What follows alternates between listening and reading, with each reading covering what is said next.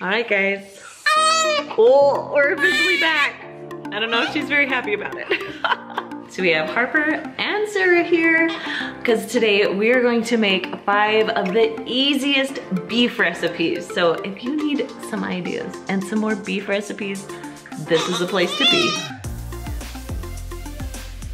Now, if you're wondering if we're getting any sleep, we are not. Now, I'm doing something a little bit different and I'm gonna share with you kind of the birth story of Harper. So that will be coming soon, so keep an eye out for it. All right, if you guys are ready, let's just jump into the recipes. The first recipe I'm making is our Italian steak marinara. All right, so we need some cut up steak. Now I like to use these packages of steak. I need two pounds, so I needed two bags full of them. You can also cut up your own steak, have it cooked, ready to go because it will make it a whole lot easier. All right, so my this is pre-cooked steak that is frozen. So I'm gonna go ahead and dump both bags into the freezer bag. Next, I cut up an onion into kind of, I don't know, medium-sized chunks and just dumped it in.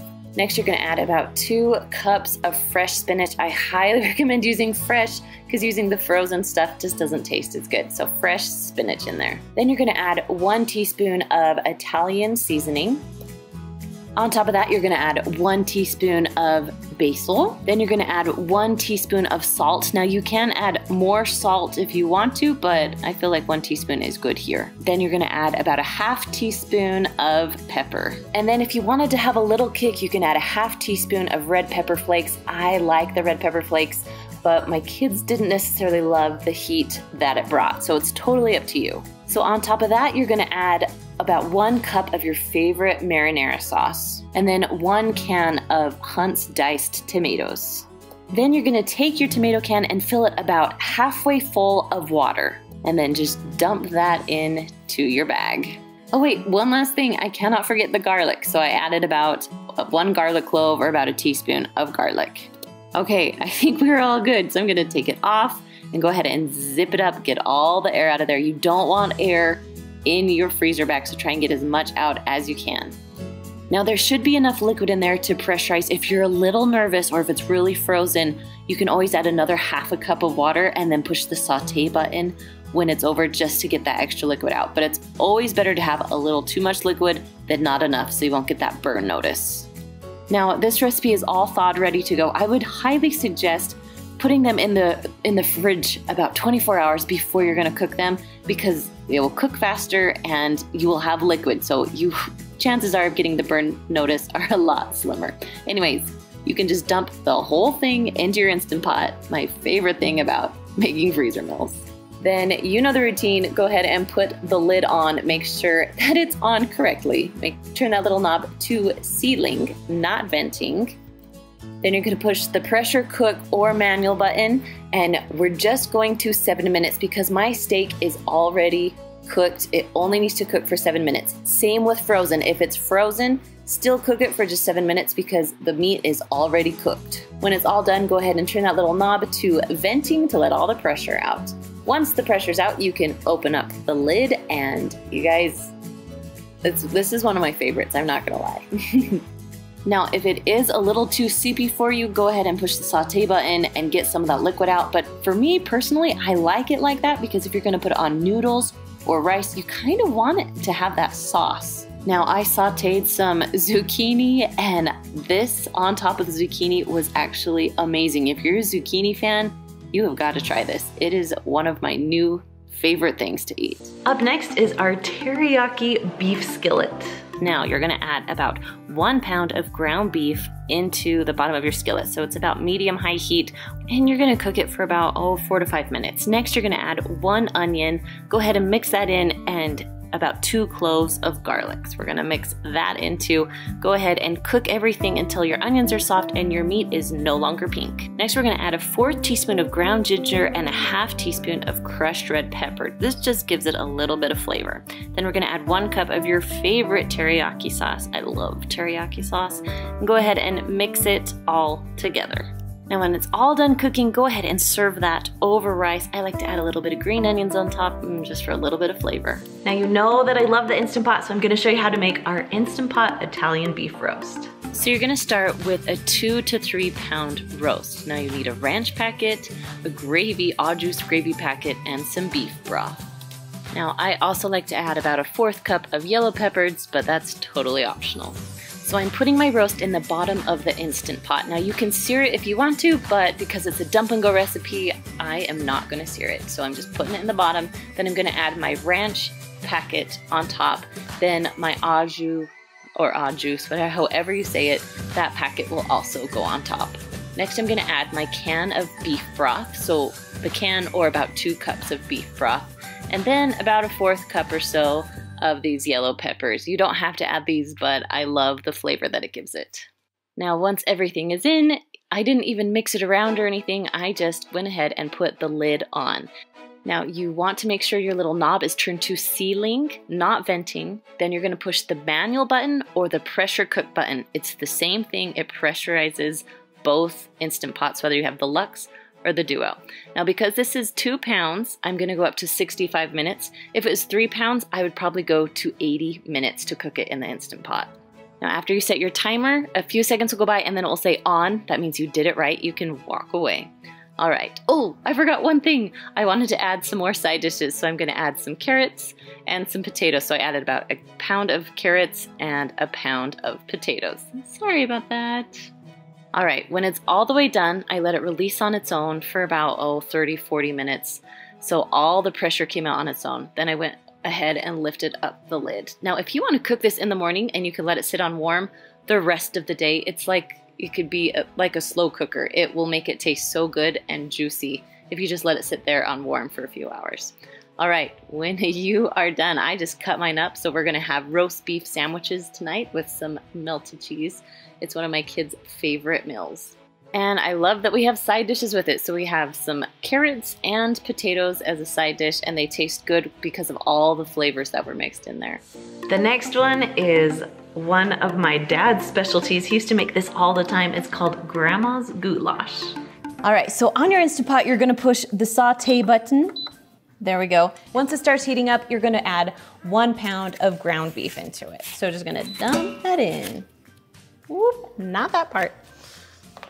All right, and then I'm also gonna add one onion that we've chopped up into pretty small pieces. Just gonna throw that in with it. Next, I'm gonna take my lovely Chop Stir. Now, I've talked about my Chop Stir quite often, so if you haven't seen this yet, I'll put a link down below in the description. It is my most favorite, probably one of my most favorite tools in the whole kitchen. So it just breaks up your meat so easily as you cook. Once your meat is cooked pretty well, like it's almost all brown and your onions are getting a little bit tender, now it's time to add everything else in. So, okay, so first we're gonna add just one green pepper in there. Then we're gonna start adding in some of the sauces. So first we're gonna do like, this is 29 ounces of tomato sauce. Now this seems like a lot of sauce, but just trust me on this one. It's, it's gonna be good. So we have 29 ounces of that. Then we have two cans of diced tomatoes. We're gonna leave all the liquid in these two. Then we have one can of corn. Again, we're just gonna leave the liquid in because we're gonna cook our noodles in this at the same time. Then for some of our seasonings and sauces, we have half a cup of brown sugar. Now this is the secret. This is what makes it grandma's goulash is the brown sugar in it. So we're gonna add three tablespoons of soy sauce and then one tablespoon of Worcestershire sauce. Then we're just gonna mix it really well. Now we're getting pretty full, so if you have an eight quart Instant Pot, I would highly suggest cooking it in the eight quart, but we're gonna, we're gonna see how this goes. Next we have one pound of elbow macaroni. Now I'm only gonna do half the box because I'm nervous that it's too full. So if you, you could do the whole box if you had an eight quart, but half the box, so just a half a pound if you're gonna do just a six quart. So we're gonna dump in our macaroni. There we go. And then we're gonna add about a cup of water. So we need that water in there so that So one, it will pressurize, and two, we'll get our noodles all cooked. All right, I think we're ready. Okay, so you're gonna make sure the lid is on all the way. Make sure this little knob is turned to sealing, not venting. Then you're gonna push the pressure cook button. Because we have to cook those noodles, we need to go to four minutes. So we're gonna go, here we go. we're at 50, so we gotta go down quite a ways. And because our hamburger is already cooked, you really just have to cook it for the amount of time that the noodles cook. So four minutes, once you set the timer, you can just walk away. All right, so now that the timer is done, it's been sitting here for about seven minutes or so. We're gonna turn this little knob to venting. Ooh, ooh, ooh. Okay, now that all the pressure's out, you can open the lid safely. Oh my gosh, this looks so good. We're just gonna pour some into this bowl here so you can see it. Now, if you wanna add a little bit of salt and pepper, that's great. I didn't add a ton of seasoning but it really doesn't need a lot because it has a lot of flavor in there. And then if you want to put a little bit of cheese on top, serve it just like that with your kids and they will love it. And number five is our Instant Pot French dip sandwiches. All right, you're gonna start with a three pound roast. Now it doesn't have to be the best cut of meat because it's your Instant Pot, it will cook well. Next, you're gonna add two cans of beef consomme. I think that's how you say it. You can find those in the soup aisle. Then that is all it, there is to it. You're gonna put the lid on, make sure that it's sealed really tight, and you're gonna put it on sealing, not venting. I like to push the manual button. You can also push the meat stew button if you'd like, but they're pretty much the same. So I go manual and I'm going all the way up to 60 minutes. If your roast is frozen, you can do it for 120 minutes also. Then when it's done, you can either let it release on its own or you can flip it over and do a quick release. Now it's time to pull the lid off and it smells so good. So you can either take your roast out and shred it up or you can shred it right inside of your Instant Pot. Now when you're all done shredding it, you're gonna pull the meat out kind of with a strainer and put it to the side. You're gonna leave the drippings or leave the juice because that's what you're gonna dip your sandwich in. So now I'm getting my subs ready and I'm gonna put my meat right onto my bread.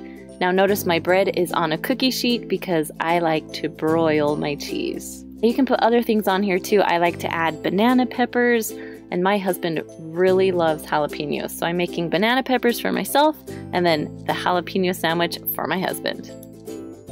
Next, I'm gonna add some provolone cheese and then I'm gonna take this and broil in the oven for about a minute just so the cheese is melted. Then I'm gonna put my bun back on and dip it into my juice.